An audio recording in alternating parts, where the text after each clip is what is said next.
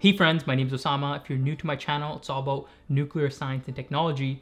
And specifically this video is part of a series where I go through every single generation two nuclear reactor design. So generation two nuclear power reactors are those that are very popular across the world. And now the world is embracing generation three and soon after generation four reactor designs. All the links to some of my other videos are in the description below. In this video, I'll be focusing on the boiling water reactor, or in short, the BWR. Now the BWR was an innovative design that was one of the earlier designs that came out. And you'll see that now there are iterations of the BWR coming out in small modular reactor form.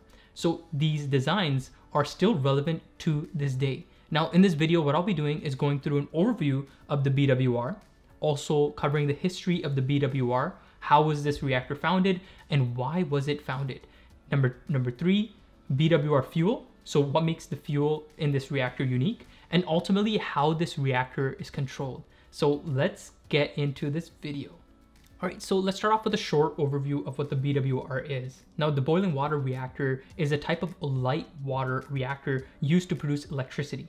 It's the second most popular reactor type across the world, second to the pressurized water reactor, and number three is the pressurized heavy water reactor, or, or known as the CANDU.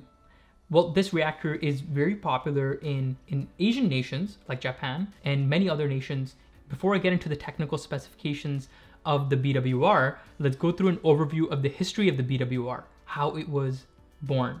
Now, it all starts in the year 1952 when Samuel Untermyer, an engineer at the Argonne National Labs, suggested that direct boiling of waters in reactors might actually be a practical application. Before this, it was thought that boiling that occurs in reactor cores would actually cause instabilities within the reactor. But after suggesting that steam formations could actually help stabilize the reaction, a series of experiments were led by the Argonne National Labs who operated a series of experimental boiling water reactors known as the Borax Experiment Series. This was done at the National Reactor Testing Station in Idaho. So a series of physics experiments were taking place, and results from these experiments led to the design and building of a prototype BWR plant called the EBWR, or the Experimental Boiling Water Reactor. Now this reactor was located on Rock Road at Argonne, Illinois site. The research reactor proved that this technology had promise, and thus it was further developed by a company called General Electric, which in 1957 launched the first privately financed nuclear power reactor. Now this power reactor provided electricity for a city called Vallecitos in California. Now later on in the year 1960, GE or General Electric made a contribution to the development of the Dresden nuclear power plant in Chicago. And they also start spearheading large construction projects for boiling water reactors. Overall, efforts in research continued over 50 years led to six different designs and iterations of the BWR reactor. So there's actually six generations of this reactor technology. And unfortunately, this video doesn't cover all these aspects, but is simply a general overview of the BWR reactor design. So let's get into the reactor itself. Right, so for all of you waiting for the gory technical details of the BWR reactor, let's dive in. So the BWR pressure vessel is very similar to the PWR pressure vessel since they're both cylindrical vessels. Okay, so they look very, very similar. The difference is that the BWR vessel is a little bit more truncated as compared to the PWR. Now, the main feature in the boiling water reactor is that instead of having two water circuits, so two circuits which, which are used to exchange heat, it only uses one circuit. So this allows boiling to take place in the core to produce steam, which can eventually be used to spin turbines and create electricity.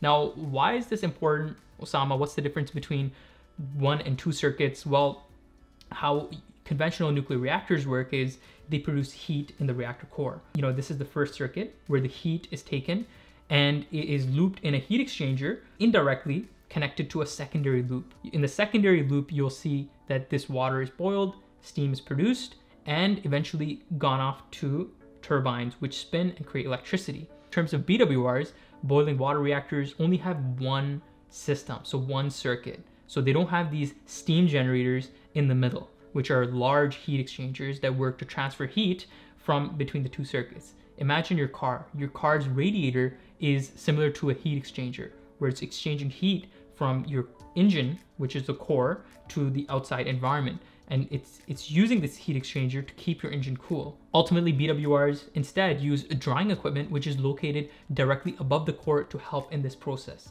of heat exchange so that moisture doesn't get to the turbines. Now, since they don't have steam generators, costs to construct a BWR are lower than PWRs, but there are other obstacles. The difference is that BWR turbines have to be heavily shielded. So this means the shielding keeps away gamma radiation and also online maintenance of the turbine side is severely restricted. So in a traditional nuclear power plant, you'll see that there is uh, nuclear side, which is the reactor buildings and the nuclear process that's taking place. And then you'll have a secondary side, which is usually the powerhouse, the turbines, and the secondary system. So the secondary system is usually a clean system where you can go in, you can walk in. There's not much radi- radiological hazards. But in a BWR, they have the advantage of not having steam generators, so one of the main components, but also this disadvantage that both areas are contaminated. So you have to have certain precautions in the secondary zone as well as the first. All right, so let's talk about BWR and its fuel. Now fuel in this reactor is very similar to a PWR or pressurized water reactor, which is using uranium dioxide in zircaloy cladding. But this fuel is enriched, however, just like PWR fuel, because you're using light water as a moderator and coolant. But what's different about the fuel here is the, the structure of the fuel assemblies. You'll see the fuel assemblies in BWRs are massive. They're a lot larger than CANDU reactors or, or even PWRs, which use fuel rods. So you'll see a BWR uses a large cruciform shaped assemblies. PWRs use fuel rods, which are quite large as well, a little bit smaller. And then CANDU reactors, which is the third most popular design, use fuel bundles, which are the size of wood logs. Let's talk about controlling a BWR. Now, what's unique about this reactor design is that control rods aren't inserted from above like in PWRs and in CANDU reactors. So the advantage there is that uh, you have gravity, which is giving that extra push to those control rods to come down. Rather, in a BWR, control rods are inserted from below. So they come out from underneath using fast acting pneumatic or hydraulic systems. Also, surprisingly, BWRs are simple to control. So you'll see that the way it works is the void coefficient, which is the reduction in reactivity, is used alongside boiling to directly control the reactor power. What, what this means simply is if you want to increase reactor power, you simply circulate more water through the reactor pressure vessel and you suppress boiling deep within the reactor core. So that's a way to increase the power. Now, say you want to decrease the power, what you do is you reduce circulation of the water and allow boiling to basically pull the reactivity and eventually power the reactor down. Now, since circulation of the water is such an important part of the BWR, many BWR designs use external recirculation pumps to supply feed water. Now, as simple as BWR operation sounds, the reactors use much more complex calculations to manage the consumption of nuclear fuel during operation, the two-phase water and steam fluid flow, which takes place in the upper part of the core. Now, this also requires more instrumentation and control. Now, another advantage of the BWR design is that it doesn't use it doesn't necessarily need to use boric acid and other uh, chemical poisons to regulate the burnup of fission products. This reduces the possibility of corrosion in piping and also other reactor vessels. So there are many advantages that come with this reactor that other reactors have to encounter. So overall, that's an overview of the BWR, the boiling water reactor design. It's a very innovative, interesting design and also comes in a small modular reactor form, which I'd love to cover in another video. Uh, love to hear from you, uh, especially your comments and questions, concerns. Which reactor or generation 2 reactor should I cover next? Uh, maybe you're more interested in generation 3 or generation 4 designs, but love to hear from you. Uh, till then, take care. Bye.